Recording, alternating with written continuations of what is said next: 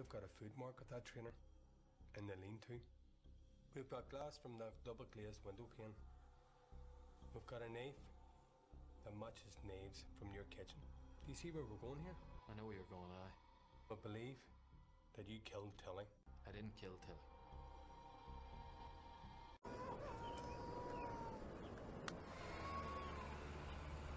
Between the commute and childcare fees, one of us is working just to pay the crèche. So it's not hardly worth it. My brother, he got a terrier puppy. Named it Semperfi. Can you believe that? Here. The collected poems of Rudyard Kipling. Thank you, Gene, but I didn't get you It's nothing. not for Christmas. Third, and most importantly, listen to your NCOs. Because most of the officers, that's good.